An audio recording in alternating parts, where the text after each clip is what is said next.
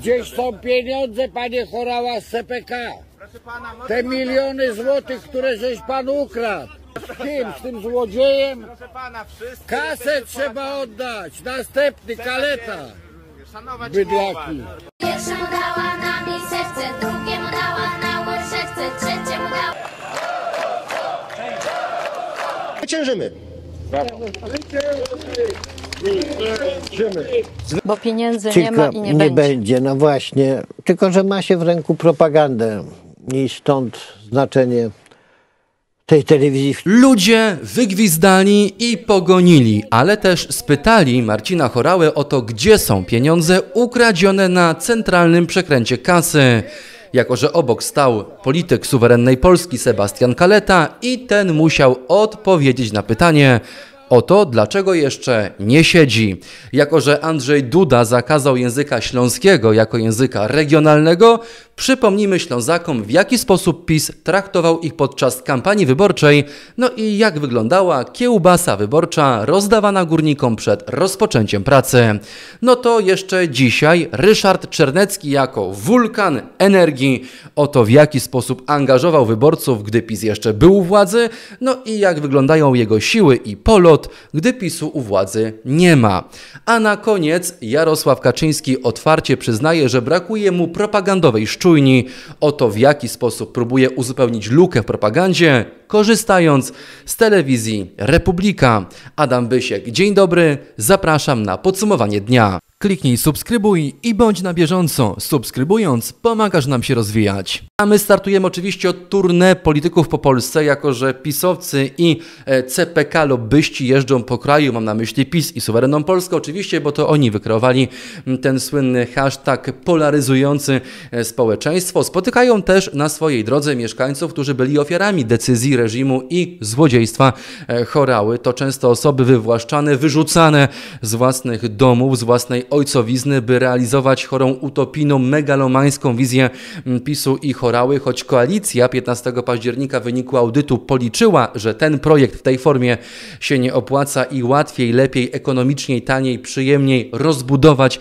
lotnisko Chopina, te argumenty do pisowców nie trafiają. Za to pisowcy trafiają na niegdyś pewnie i swoich wyborców, którzy dosadnym językiem pytają ich o to, dlaczego jeszcze nie siedzą, no i o najważniejszą kwestię, gdzie są te pieniądze za ochronę łąki.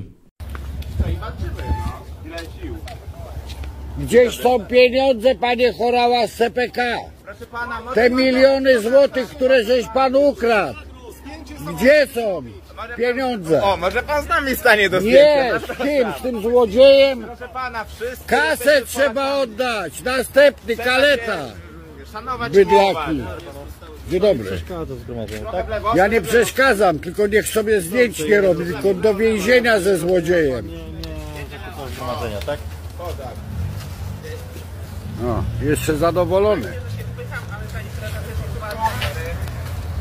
Ja pierdolę.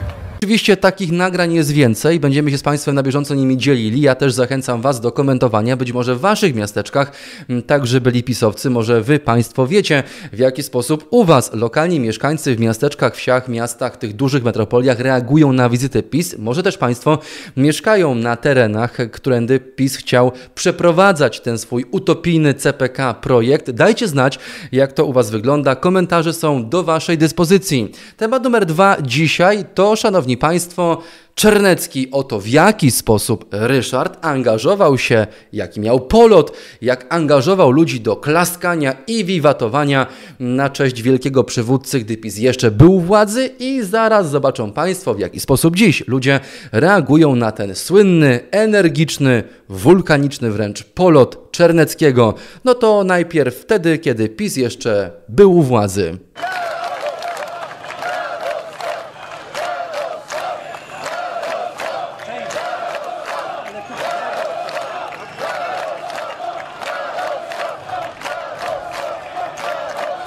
A skoro widzieliśmy już to zaangażowanie niczym w Korei, klaszczące dziewczynki i płaczące kobiety na informacji o tym, że obok nich przejdzie Kim Jong-un, zobaczcie Państwo, jak dzisiaj, gdy ludzie powoli poznają się na PiS, moim zdaniem zbyt wolno, ale lepiej wolno niż wcale, reagują na to, gdy PiS przyjeżdża i próbuje kłamać ich w żywe oczy. Oto reakcja na wystąpienie pełne energii Ryszarda Czerneckiego. Chciałem powiedzieć tylko jedno słowo, ja w to wierzę, jestem o tym przekonany. Zwyciężymy! Zwyciężymy! Zwyciężymy! Zwyciężymy! Zwyciężymy!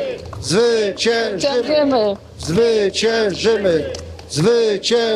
I Oczywiście myślę, że ta tendencja będzie bardzo widoczna w skali całego kraju. Zauważcie Państwo, że nawet wczoraj, przez ostatnie dwa dni, dwa nasze wydania programów, pokazywaliśmy Wam w jaki sposób w innych miejscowościach, nie tylko tam, gdzie ma być budowane CPK, ludzie reagują na spędy pisowskie. Prawie nikt nie przychodzi, no oprócz tych, którzy przyjadą z tym czy innym politykiem suwerennej, przepraszam, mafii polskiej autokarem. Jak to u Państwa wygląda? Również jestem ciekawy. Koniecznie dajcie znać, co sądzicie o tym, jak PiS upada na naszych oczach i czy, te frek- czy ta frekwencja na spotkaniach pisowców według Państwa jest jakimś omenem dobrym na przyszłość, że ta partia po prostu zniknie z powierzchni ziemi. Czy ludzie poznają się na oszustwach i kłamstwach PiSu? Liczę na Waszą kreatywność. Temat numer 3 dzisiaj to, Szanowni Państwo, Jarosław Kaczyński znów z wizytą w Szczujni, Republika w tak zwanej gadzinówce, reżimówce Sakiewicza, gdzie oprócz kłamstwa nie dowiecie się Państwo niczego innego, ale za to tam można spotkać wielkiego przywódcę Jarosława Kaczyńskiego. Choć słowo przywódcę w kontekście Kaczyńskiego jest bardzo znamienne, bo w końcu pił wódkę z, Wasi- z Wasinem, dziś nie chodzi o spotkanie przywódcę, a spotkanie przywódcy. W telewizji Republika, zobaczcie Państwo, jak sam przyznaje się do tego, że PiS bez szczujni TVP zarządów Kurskiego jest po prostu lekko bezradny. Bo pieniędzy nie Tylko ma i nie, będzie. No właśnie. Tylko, że ma się w ręku propagandę i stąd znaczenie tej telewizji, w której jesteśmy i stąd znaczenie, żeby ta sfera mm, wolnego słowa się rozrastała, żeby była coraz No czekamy na silniejsza. koncesję. No, ja sądzę, że ta koncesja zostanie przyznana. Em, Z tego, co do mnie dochodzi, to zostanie przyznana, chociaż no, nie mogę oczywiście niczego mówić za ludzi, którzy o tym decydują.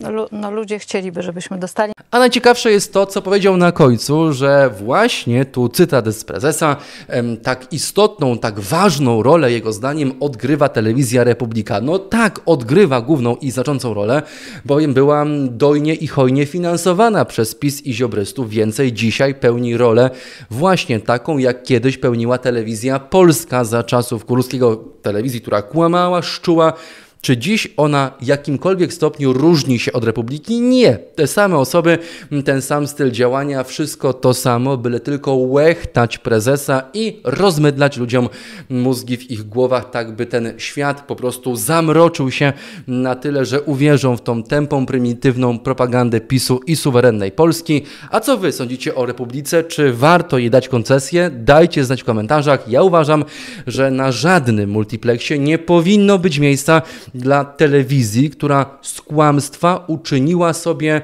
e, oręż do przejmowania czy budowania puli widzów. Kłamanie, oszukiwanie i to jeszcze za partyjne pieniądze według mnie jest co najmniej niegodziwe, o ile nie jest przestępstwem. Stąd oczywiście mam nadzieję, że koncesji nie dostaną, ale jako, że jest tam Świrski, który atakuje reset obywatelski, więc murem za resetem obywatelskim, nie ma wątpliwości, że Sakiewicz lada dzień pochwali się podpisaną koncesją, ale w końcu pamiętajmy o tym, że, że dni Świrskiego również są policzone. Temat numer 4 dzisiaj to, szanowni państwo, de facto nazwijmy to po imieniu delegalizacja języka śląskiego jako języka ojczystego.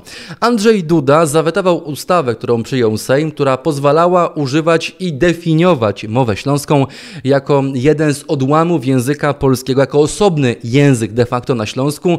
No ale oczywiście Dudzie się to nie podoba, bo nie podoba się to PiSowi. Partyjny aparatczyk, partyjny kacyk znów wziął długopis i podpisał e, weto. Po prostu zakazał m, tym ludziom e, definiowania tego języka właśnie właśnie w taki sposób. Posłuchajcie Państwo i zobaczcie na początek, jak na Śląsku Duda traktował ludzi, rozdając im kanapki. Kanapka z serem dla górnika harującego 8 godzin 100 metrów pod ziemią miała sprawić, że ten na niego zagłosuje. Niestety zagłosował. Pytanie, czy zagłosuje znowu. Oto Andrzej Duda podczas minionej kampanii prezydenckiej.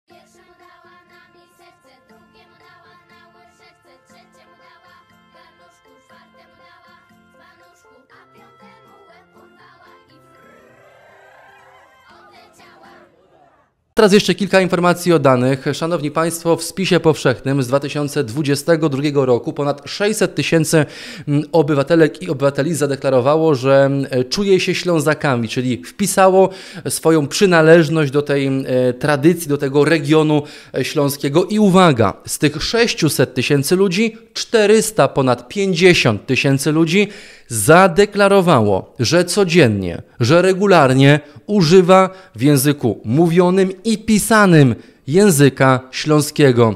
Bardzo mnie cieszy, że Duda podjął tę decyzję haniebną oczywiście dla PiSu jego formacji na kilka dni przed wyborami, ponieważ to papierek lakmusowy tego, jakim jest rezydentem.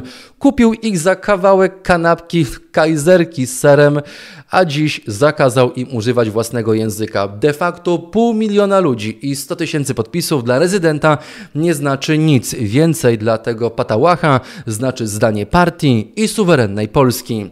Adam Bysiek, dziękuję za dzisiaj. Zapraszam oczywiście do czytania magazynu czekpress.pl, gdzie nie lękamy się pisać i mówić o faktach.